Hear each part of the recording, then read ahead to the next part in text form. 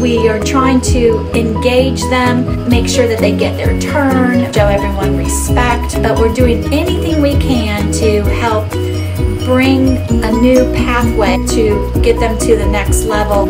of their own independence.